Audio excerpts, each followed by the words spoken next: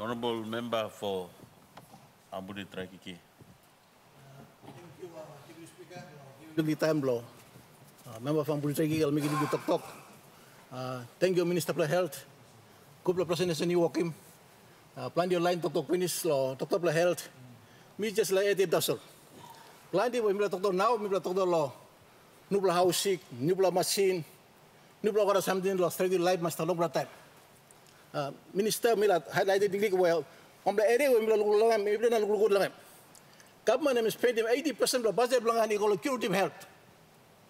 The bloody problem is still primary health, where 20, 20% or 10% of the money is been given to primary health, which is the major, uh, bigger problem inside Papua New Guinea. If we can address the primary health issue, then we will not build many hospitals, we will not buy many equipments. And this is the failure in this country. Uh, Minister, Minister Yui prevention is better than cure. Maybe like a plan the Pub- Public Health Act and stuff.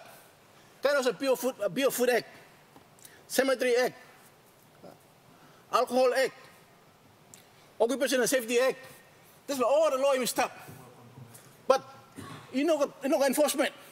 It used to be very effective in the 80s and 70s. Political interference come in. Bloody politicians own in business. Bloody own, uh, politicians own him. Uh, uh, uh, Kaipa, bloody politicians own him. Uh, liquor shops. They've inspected, inspecting on what I'm standing me. I'm blessed from me. I'm housing from me. And quality of health time drop. Now someone look good. Plenty of street now, man made us something that something. Spread boy not nothing. Trauma skin boy not nothing. People everywhere. Where quality? We need to improve the quality of this place by providing the quality service. That's why we like long time. Why people need to him. And Department of Health need to put enough money, the public health, to stop of something. Plenty man now selling uh, of flower balls on the street. Or selling on the street. Minister, is there quality in there? Or is there enough standard cooking flower balls? The biggest problem is quality and look nice like a plenty man. But where it is produced, where it is made, that's not a problem. All working quality water supply, house cook and clean, these are things are lacking. That's why blind are sick people at Papua New Guinea. It's not natural sick from Papua New Guinea. It's an imported diseases. It came through our behavior. It came through our attitude. I'm Edimon. Plenty Papua New Guinea man made enough of look good. Only part hurry up, but only die young. Simply because there is no quality.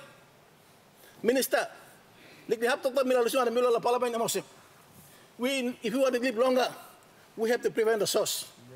And how do you prevent it? We have all the laws regulated, but there's no enforcement. There's no enforcement.